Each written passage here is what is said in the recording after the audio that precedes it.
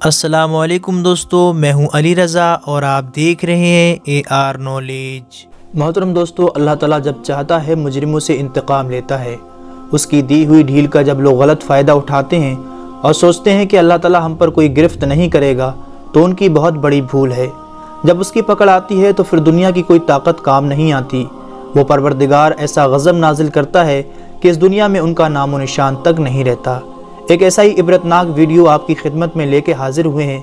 उम्मीद है कि आप इस वीडियो को आखिर तक देखेंगे। दोस्तों, इस मलून शख्स ने जब मस्जिद को नुकसान पहुँचाने की कोशिश की और मस्जिद के शीशे तोड़ने लगा, वहाँ पर मौजूद एक मकामी शख्स ने इसको रोकने की भी कोशिश की, मगर ये अपनी गलत हरकतों से बाज ना आया और उन्हें भी डराया और धमकाया।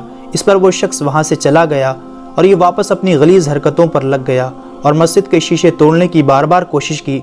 काफ़ी नुकसान पहुँचाया फिर दोस्तों आखिर अल्लाह की पकड़ इस पर आ ही गई और उसी वक्त अपने अंजाम को पहुँच गया। इस वीडियो के आखिर में देखिए दोस्तों, जब ये मलून शख्स भागने की वहाँ से कोशिश करता है, उसी दौरान अचानक एक कार आती है और ये अपने अंजाम को पहुँच जाता है। ये वीडियो आपको दोबारा स्लो मोशन में दिखाते हैं कि कैसे ये अपने अंजाम को पहुँचता है।